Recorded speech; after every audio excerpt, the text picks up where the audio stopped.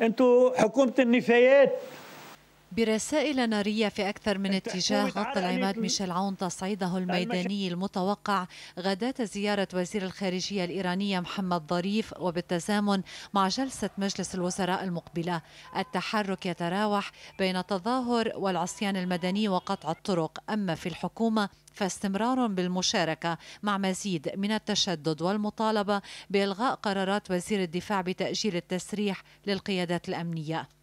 الحملة في غير محلها لأنه كل واحد قائد الجيش ينصاع للسلطة التنفيذية ووزير الدفاع آه، عمل واجباته بمجلس وزراء عرض أسماء لم يتفق.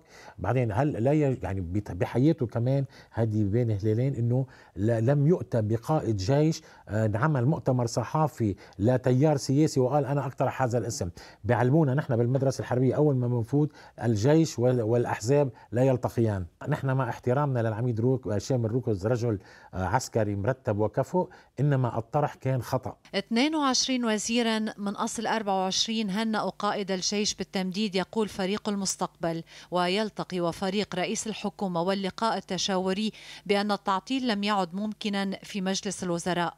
وزير الدفاع يقول إنه بلان بلو ولا يعير بالخاص ولا بالعام بقراره حماية المؤسسة العسكرية. حكومة هي بيلزمها إنه تكون دستوريا تلتين موجودين تكون ميثاقية يعني كل المكونات الطائفية موجودة فيها. وهذا شو ما صار مين ما انسحب من آه، الوزراء يلي عم يحاولوا يعطلون هذه الحكومة الحكومة باقية بميثاقيتها ودستوريتها وقراراتها بتكون نافذة. وفق المعلومات أن حزب الله سيكون معون في الحكومة التي تعطلت دون أن تفرط أما على الأرض فهو في الميدان السوري. عون ترك الباب مفتوحا للاتصالات وحزب الله مستمر بمسعى التسوية.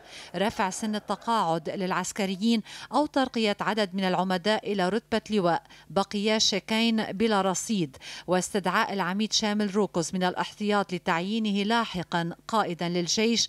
عملا بسابقة العماد اسكندر غانم فيبقى همسا غير قابل للصرف إلا ربطا بتسوية رئاسية ما زالت بعيدة.